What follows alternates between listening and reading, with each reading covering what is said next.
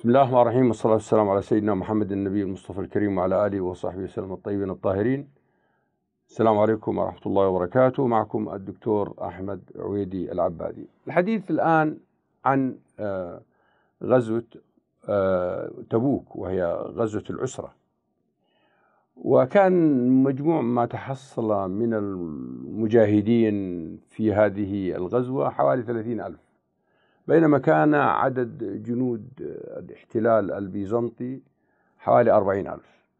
لكن كان الجو كما يلي. أولا القوات الإسلامية في أرض عربية والقوات البيزنطية احتلال البيزنطي في أرض ليست أرضهم هي قوات احتلال.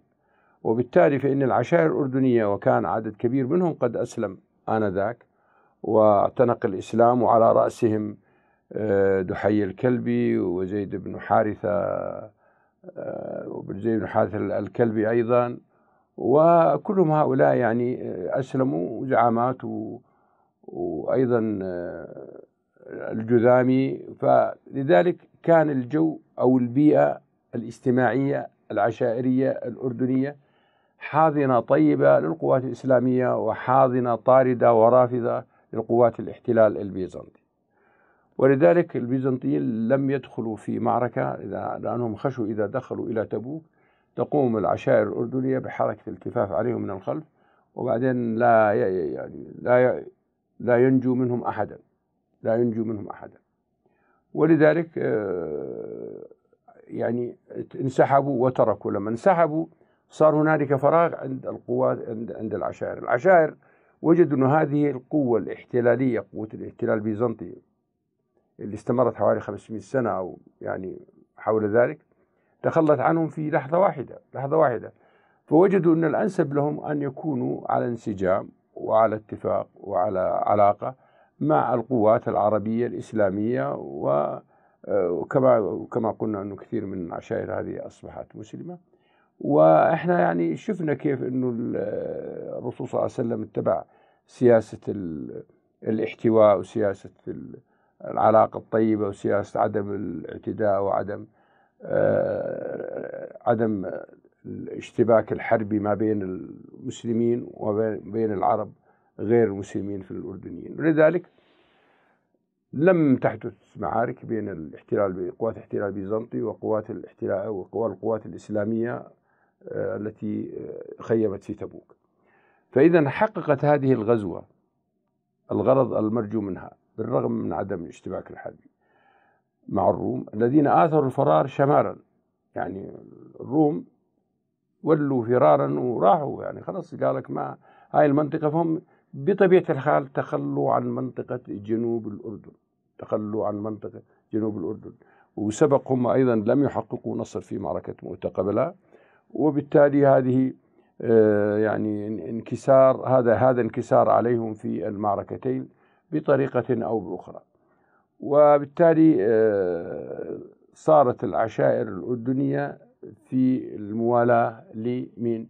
للقوات الأردنية للقوات العربية الإسلامية بقيادة سيدنا محمد صلى الله عليه وسلم. سيدنا محمد احتوى هؤلاء الناس. كان هنالك ثلاث قوى على الحدود الأردنية مع جزيرة العرب. القوة الأولى كانت مملكة الجوف أو مملكة أدوماتو. وكان على رأسها المملكة الملك الأكيدر العبادي. والقوة الثانية اللي هي قوة عشائر منطقة آه، أذرح والجرباء. والقوة الثالثة اللي هي قوة منطقة إيلا وكان يحكمها يوحنا بن رؤبة وكان يعني نصرانيا وكان هو عربي طبعا هو غساني يعني من من العرب. ولذلك يعني كان هؤلاء وجدوا أنفسهم وهم أهل البلاد يعني هذول كلهم أردنيين من أهل البلاد من أهل من عشائر المنطقة وجدوا أن الطريقة الصحيحة هي للتعامل مع القوة الإسلامية الجديدة وبالتالي لابد من عمل ترتيبات معهم. ولذلك سنأتي كيف أنه يوحنا بن رابة ذهب وقابل سيدنا محمد صلى الله عليه وسلم وأيضا آه، الملك الأكيدر العبادي ذهب وقابل سيدنا محمد صلى الله عليه وسلم الأكيدر أسلم بعدين ثم ارتد وقتلوا خالد بن الوليد فيما بعد في حروب الردة في زمن سيدنا أبو بكر رضي الله عنه. ويوحنا بن رؤبة بقي دفع الجزية وبقي على إمارته في منطقة إيلا إيلا أو يعني يسموها الآن العقبة. وعشائر عشائر أذرح والجرباء هي منطقة الشراء كلها يعني عشائر الشراء كانت عاصمتها أذرح والجرباء بقيت يعني دفعت الجزية وحالفت النبي صلى الله عليه وسلم وبالتالي إذا صار عندهم ولاء للإمارة أو للدولة الإسلامية بدل من دولة الروم المحتلة. ثم نأتي يعني إلى إمارة طبعا إمارة إمارة دومة الجندل هي هي عبارة عن عن عن مملكة يعني كان سنأتي إليها في حديث في فيما بعد. آه، كتب رسول الله صلى الله عليه وسلم عهد بينه وبين آه هذه الإمارات الثلاثة أو إمارتين مع أهل فأسقطت هيبة الرومان أسقطت هيبة البيزنطيين جميعا. ولذلك بنفس الوقت يعني لم يعد العرب من مسلم ونصارى ووثنيين لأنه كان في وثنيين عندنا في الأردن لم يعودوا يخافوا أيضا من الرومان إطلاقا.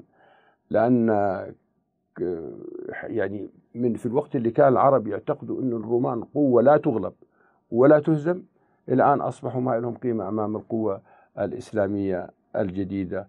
والعزي يعني وهذه طبعا كلها في الغزوات اللي صارت وإلى آخره كلها يدل على انه القوة الإسلامية الجديدة قوة تترسخ في الذهن العربي على أن هذه الرسالة وهذا الدين دين جديد يعيد توحيد العرب ويعمل لهم عقيدة واحدة وليست عدة عقائد ويعلم دين واحد وليست عدة أديان وبالتالي فهو الذي سيهزم هذه القوة التي لا تقهر وللحديث بقية والسلام عليكم ورحمة الله وبركاته.